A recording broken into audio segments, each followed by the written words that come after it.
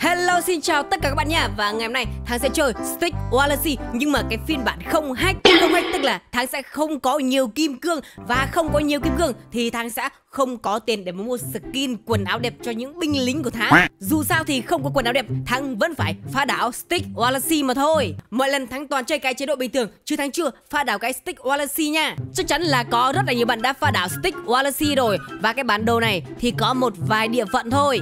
Thế thì anh sẽ nhanh chóng phá đảo cái map này nha.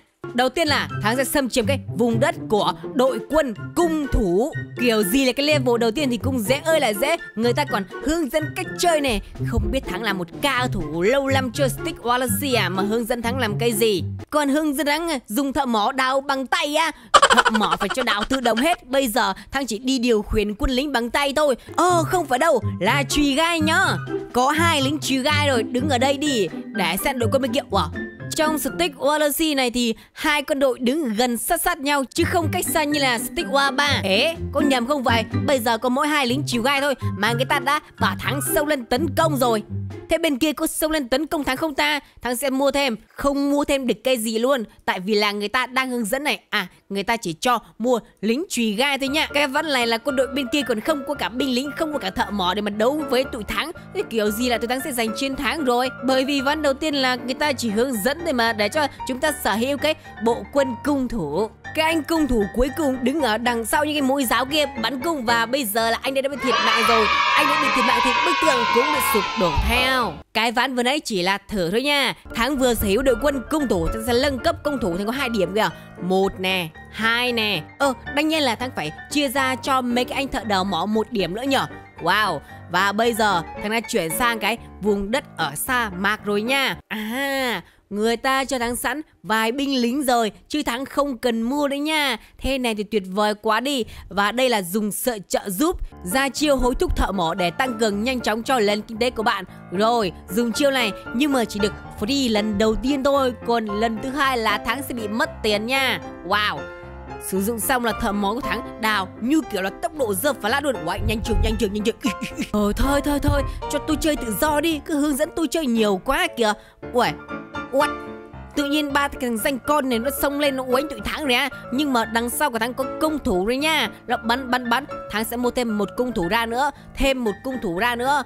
Tranh thủ làm mua thêm thợ đào mỏ ra nha, và cả lính chùy gai nè bây giờ bên anh cũng khá là nhiều quân đấy. Mấy cái thằng danh con cầm lính khiêng giáo cứ đứng ở đó đi. Hình như là ở bộ tộc da đỏ. Tụi nó đã nghèo hết rồi. Bây giờ tụi thắng sẽ lên đào mỏ lại và hai anh cung thủ đã xuất hiện rồi nha. Thế còn anh chùy gai của tôi đâu nhỉ À đây rồi, anh chủ gai của tôi bây giờ mới xuất hiện kìa. Ở cái stick Odyssey này thì không có đá crystal màu xanh để bạn đào nha. Chỉ có duy nhất vàng thôi. Ồ, oh, bên của tụi nó không có bức tượng nha. Ba thằng xanh con nó xông lên rồi. Tụi thằng cũng sẽ xông lên chứ không đứng ở nhà làm cái gì.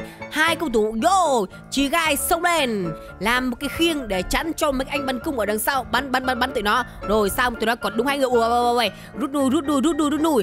Rút nuôi, rút nuôi, tất cả rút nuôi, nhanh lên. Bởi vì là cái bộ tộc của thắng không có quân đỡ đòn Nên phải rút nuôi không là nó sọc ngẽo mất mấy cái anh cung thủ của thắng là to luôn. Ba cái thằng xanh con này nó cũng yếu Nên là nó phá bức tượng của thắng mãi không hết một lửa cọc luôn kìa. Ôi rồi ôi, nó đã bị ngã hết rồi. Bây giờ là tụi nó sẽ xông lên nha.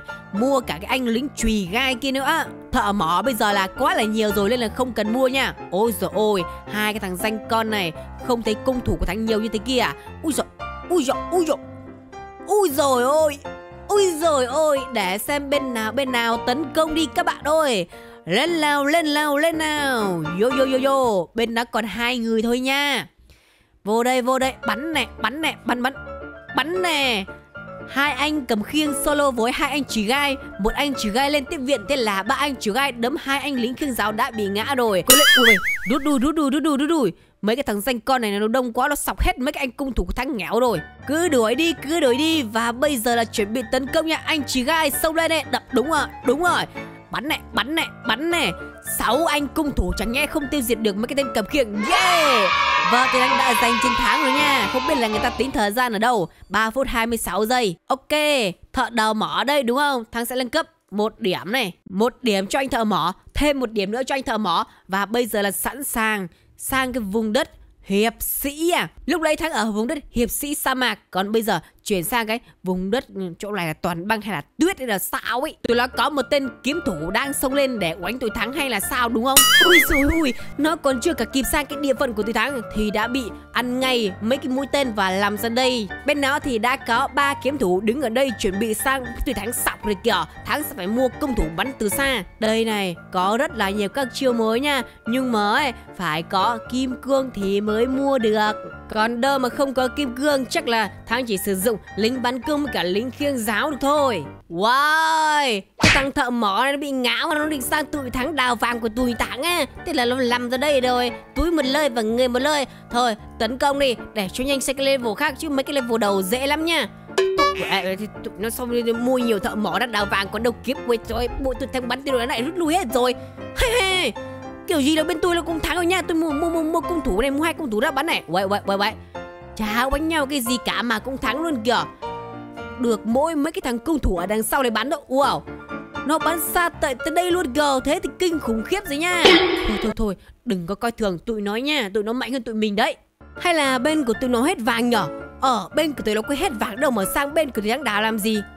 Thằng biết rồi tụi nó mua nhiều thợ mờ quá, thế là tụi nó không có đống vàng để mà đào. Tụi nó định kéo sang của nhà của thắng, đào vàng của nhà của thắng, thế thì kinh khủng quá. Lại một anh thợ mỏ tiếp tục sang bên này và anh ấy đã bỏ mạng ở đây rồi nha. Thôi bên đang tấn công đây, chứ bên nó gà quá trời là gà luôn. Chả cần buồn uánh nhau làm cái gì đấy á đào vàng nhiều nhưng mà mua đúng ba cái cung thủ ra. Thôi tất cả sau đây bắn vào cái bức tượng của tụi nó đi cho nó lổ, tung này. lần chiến đấu này chắc chắn là tụi đang sẽ giành chiến thắng rồi nhá thấy chưa? Bức tượng xuống máu lia lịa luôn.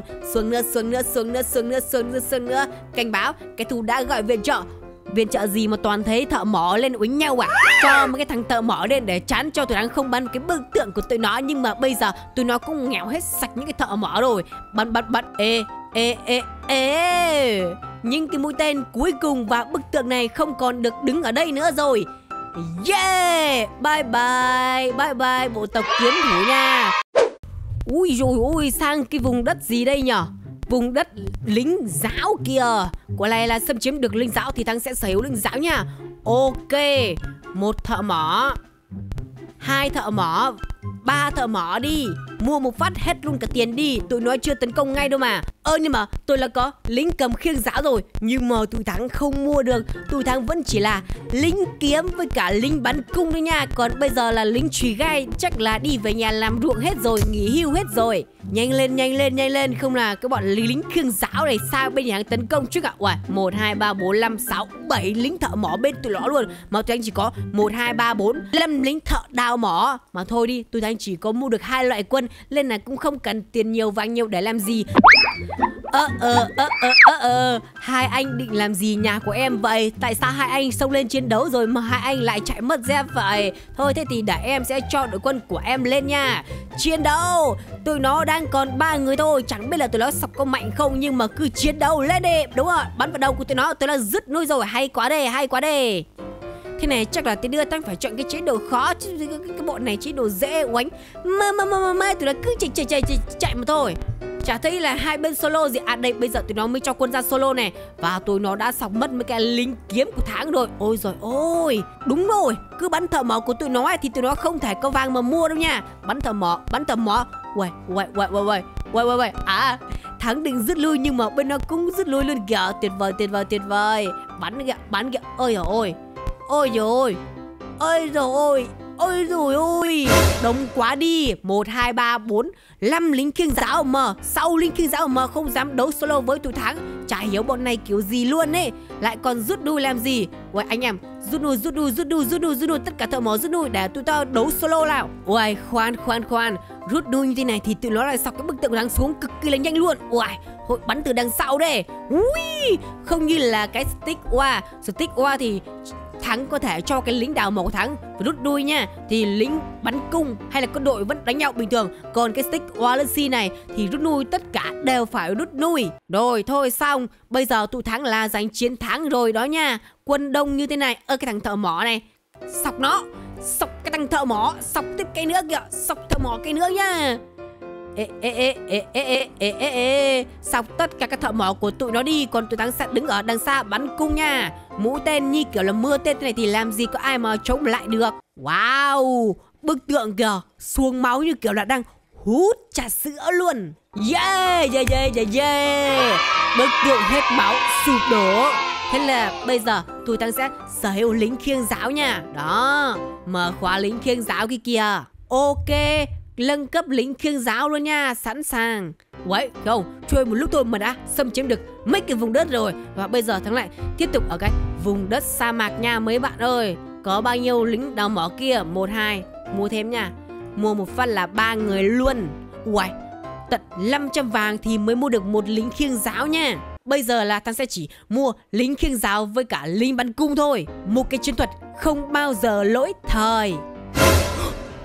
Ui ôi Tụi nó cái gì mà đông kiếm thế này Không có bức tượng nữa. Chắc là người ta tính thời gian Hoặc là thắng đấu hết tất cả các đội quân của tụi nó Thì bên thằng mới giành chiến thắng nha. Thằng sẽ mua lính khiêng giáo đầu tiên ra. Nhanh lên nha, tụi nó đang rất là máu chiến rồi. Thằng thì hô hô hô hô. Thằng thì quay kiếm dơ kiếm lên. Thằng thì làm xuống chống đẩy hít đất. 1, 2, 3, 4, 5 Còn bên quân đội của thắng thì căng thẳng quá Chả thấy ai. Ui Ui. Tụi nó tấn công rồi kìa anh em ơi Không biết là có được không đây? Tụi nó đông Ơi giời ơi. Tụi nó đông nhưng mà tụi nó yếu nhớt ra kia kìa. Ê ê ê ê ê. Ui ui ui ui. Ê Đông nghịt như vậy thế là bây giờ còn đúng ba tên, bốn tên kìa. Oh my god, thắng một tên lính thiên giáo ra chẳng có cái gì phải lo Chẳng có cái gì mà phải dứt quân cả nha. Ôi dồi ôi, cái thằng danh con này Nó sọc mất lính đào mỏ của tháng kìa. Uầy, uầy, uầy, khoan, khoan, khoan, khoan, khoan, khoan. Hình như là có cái điều gì đó nhầm luật sang trồng trọt rồi. Ôi dồi ôi Tụi nó còn ờ, sống sót nhiều hơn tụi của Thắng nha. Chứ tụi Thắng này hết sạch quân rồi. Mà không sao Cái bức tượng này của tụi Thắng nó trâu bò mà. Ế Ờ. What? Thế này là dễ hay là khó đây nhờ? Sao mà đã thể giành chiến thắng rồi Thắng chả còn anh lính nào nữa? Thắng đang chơi stick oa 3 Khó khó quen rồi. Bây giờ chuyển sang stick Odyssey thì đơn giản quá ta. Thôi nha, Cái thời lượng video của thằng tới đây là kết thúc rồi Và hẹn gặp lại tất cả các bạn trong cái video lần sau. Còn bây giờ là bye bye.